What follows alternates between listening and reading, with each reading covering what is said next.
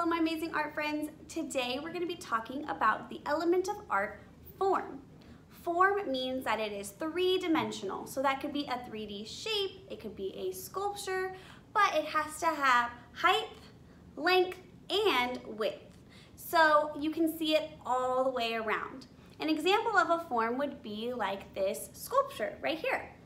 It has length, it has height, and it also has width and I can see it all the way around. So our paper is flat, it's two-dimensional, and we can draw things there and make them look 3D, but unfortunately we can't actually make them 3D. So we're going to try and give the illusion that our work, our artwork is three-dimensional today by giving highlights and shadows.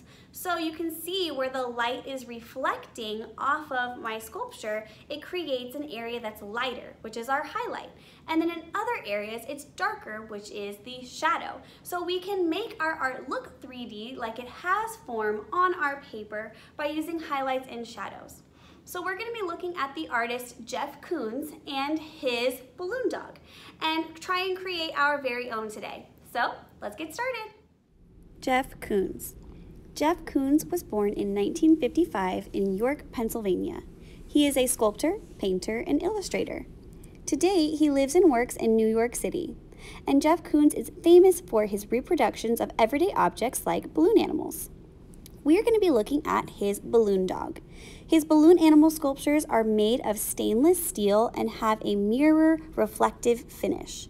His balloon dog Orange sold for $58.4 million, making it the most expensive artwork by a living artist today. Here are some of his other balloon animals a swan, rabbit, and a monkey. He also makes balloon dog paintings, and so you can see he makes it look 3D by adding highlights and shadows. So we are going to make our own balloon dog today. To make our balloon dog, you're gonna need to get a couple of things to start. You'll need a colored sheet of paper. Remember, if you don't have a colored sheet of paper, you can always color one. Um, you'll need an oval template. So I just cut an oval shape out of another piece of paper. That way all of my ovals can be the same size. And then with a crayon or marker, a darker color of the colored paper you have and white.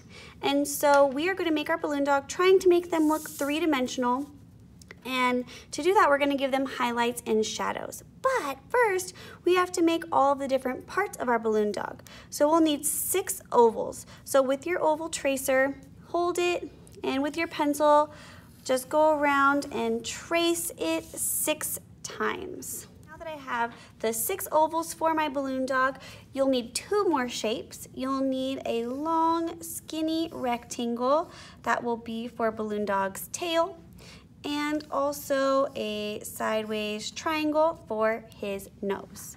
All right, so once you have all of your shapes laid out, we're going to give our balloon dog the highlights and shadows. Remember, when the light reflects off of something, it makes it look lighter. And so I'm gonna turn my paper and I'm gonna add a white highlight on the top of each of my um, ovals. Or I can keep it this way and make it on the left side. So left for the L. So I'm gonna follow the inside and give a highlight on the left of each of my ovals with the white. And then I'm gonna keep it the same way with my tail. I'll put a white line on the left side and a white line on the top of my triangle. Okay, so now I have my highlight, but I also need my shadow. So the shadow is gonna be on the opposite side, so it'll be on the right. And I'm gonna add a curved line with the darker color of my paper to make the shadow. And same thing, I'll do it on the bottom of my triangle and the right side of my tail. This is all we're going to be doing today. If you want to, you can go ahead and cut out all of your shapes and save them in a Ziploc bag, or you can wait till next time to cut them out and assemble our balloon dog together. I hope you guys have so much fun. Happy creating!